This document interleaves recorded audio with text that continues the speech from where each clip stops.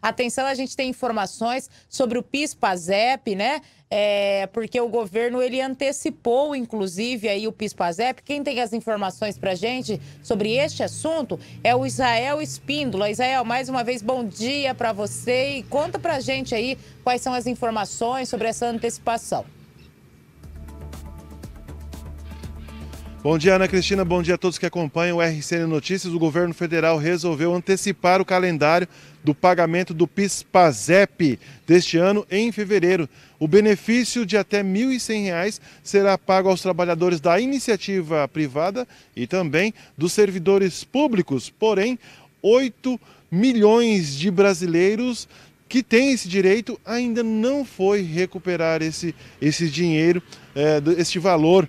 O montante representa mais de 7 bilhões de reais disponibilizados para os pagamentos dos benefícios sem movimentação pelos trabalhadores que têm direito aí a este abono. A maior parte do valor refere-se ao pagamento do PIS para as pessoas que trabalham de carteira assinada na rede privada. Bom, isso porque cerca de 8.169, 8 milhões 169 mil 485 contemplados ainda não sacaram este valor aproximado em mais de 6 milhões de reais. No caso do PASEP, destinado aos servidores da iniciativa pública, o saldo remanescente é de 373 milhões. Ao todo, 447, 447 mil trabalhadores ainda não sacaram também aí esse abono salarial do último calendário. Para você saber se você tem direito aí a resgatar um valor, na questão da rede privada são para os trabalhadores que, trabalhar, que trabalharam de carteira assinada no ano de 2019 e 2020.